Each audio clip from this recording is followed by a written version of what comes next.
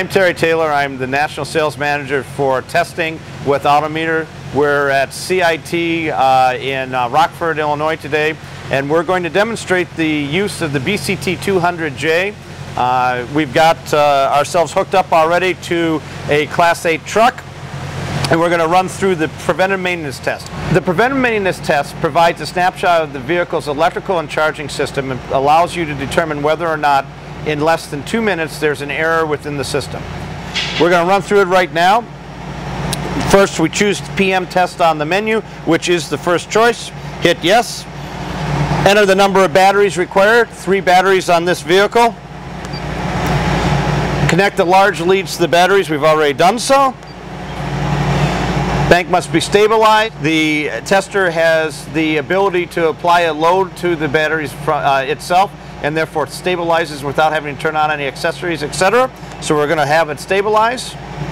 It's done stabilizing. Now the next thing it asks is whether or not it's a lead acid or an AGM battery. In this case we have lead acid batteries.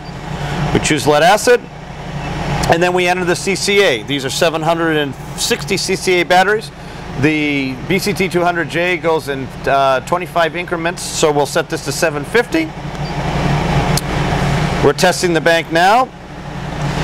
Now the BCT 200J is looking for us to connect the small clips to the starter. We've already done so, so we'll continue with the test.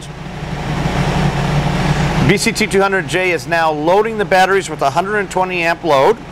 And now we're going to start the engine. And rubber to govern speed, please. Please.